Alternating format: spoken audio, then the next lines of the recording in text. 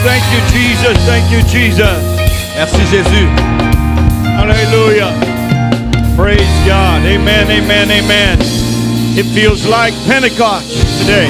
On se ressent comme à la Pentecôte. Amen. Amen. Hallelujah, hallelujah, hallelujah. Blessed be the name of the Lord. Blessed be the name of the Lord. Praise God. And you may be seated tonight. Et vous pouvez vous asseoir. We welcome you to the fourth Sunday of the month of May of the year 2021. On vous accueille dans le troisième dimanche du mois de, l'année- de mai 2021. And it's